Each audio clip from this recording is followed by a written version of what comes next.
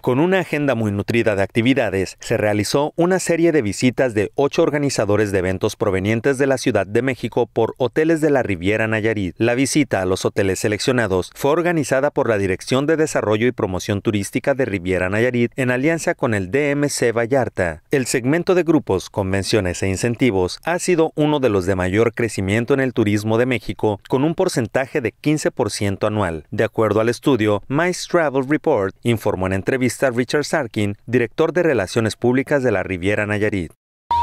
Sobre todo en un destino que está apto para turismo de reuniones y que pues es un, un segmento que en México había estado creciendo fuertemente, un 15% hasta 2019.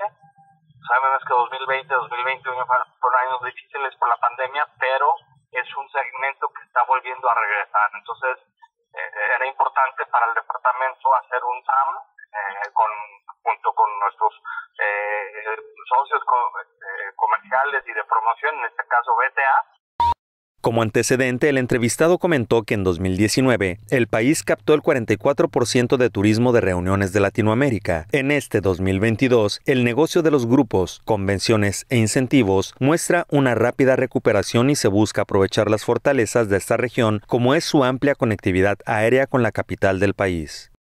Hay hoteles, eh, perdón, hay de estos meeting planners que ya venden ciertos hoteles, muchos tuvieron la oportunidad de conocer hoteles nuevos.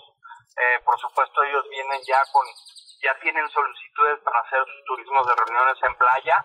Y bueno, pues este, el, el FAM terminó hace poco, entonces pues eh, tenemos que darle tiempo a que cada casa de incentivos, eh, si no trabaja con un hotel, eh, tengan la oportunidad de trabajar con una nueva propiedad.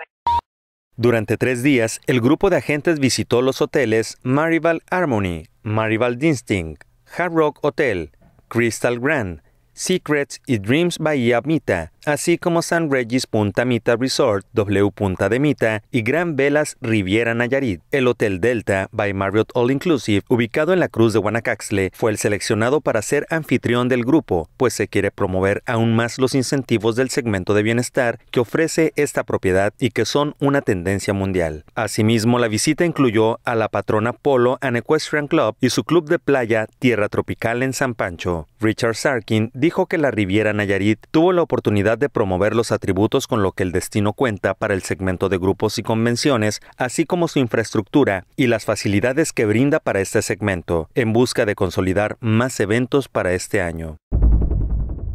Con información de Rodrigo López Becerril, CPS Noticias.